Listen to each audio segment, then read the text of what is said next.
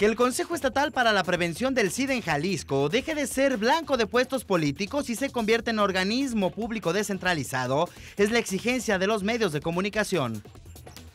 ¿Por qué el COESIDA y por qué los comucidas son puestos políticos?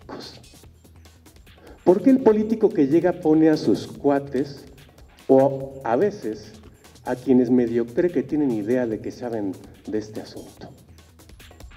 Además, se pidió mayor presupuesto para atender a la inmensa cantidad de enfermos en la entidad.